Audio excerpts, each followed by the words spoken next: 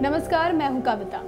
27 जुलाई को गुरु पूर्णिमा है और इसी दिन 104 सालों बाद सदी का सबसे बड़ा चंद्र ग्रहण लगेगा। मिनिस्ट्री ऑफ़ अर्थ साइंस ने बताया कि ये चंद्र ग्रहण गुरुवार 27 जुलाई को लगेगा और शुक्रवार, यानी कि 28 जुलाई को समाप्त होगा। ये चंद्र ग्रहण 27 जुलाई को भारतीय समय अनुसार रात ग्यारह बजकर चौवन मिनट पर शुरू होगा और धीरे धीरे 28 जुलाई की रात एक बजे तक पूर्ण चंद्र ग्रहण लग जाएगा। रात तीन बजकर उनचास मिनट पर चाँद धरती की छाया से पूरी तरह बाहर आ जाएगा और ये चंद्र ग्रहण सन 2001 से 21वें यानी कि 21वीं सदी का सबसे लंबा चंद्र ग्रहण होगा, जिससे पूरे भारत में देखा जा सकता है।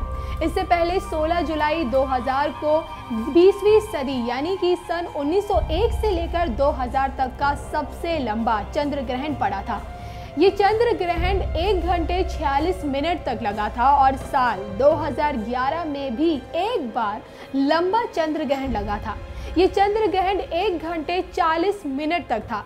मंत्रालय ने बताया कि इस दिन एक और खगोलीय घटना होगी और इसी दिन सूर्य और मंगल भी आमने सामने होंगे। मंत्रालय के मुताबिक ऐसा इसलिए होगा क्योंकि सूर्य और मंगल के बीच पृथ्वी आ जाएगी और पृथ्वी मंगल के ज़्यादा करीब होगी।